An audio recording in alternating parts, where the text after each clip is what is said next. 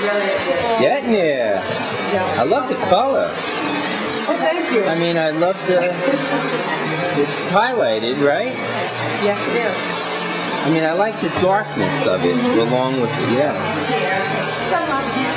It's a beautiful face, you know, like a nice fair complexion.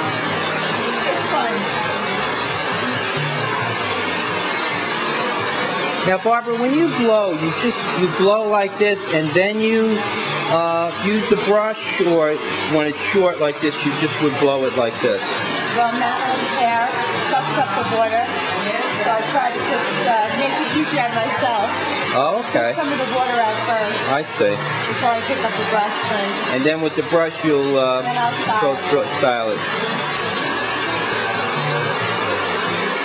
How come it never comes out as good, as good at home as it does? Frank, professional, Frank, that's right. That's. You know what? I think you should give.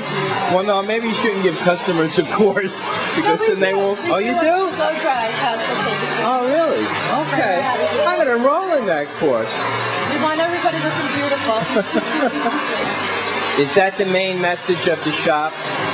What is the, the main mission or message? Yeah. All people happy. Wow, that's great. Very good.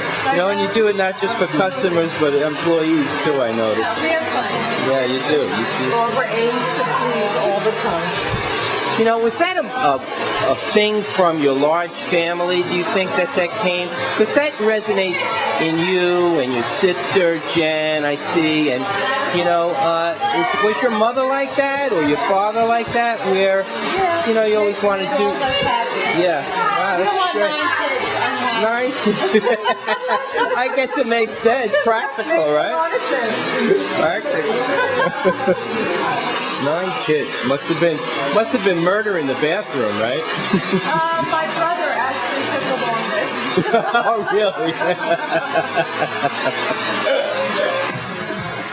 oh.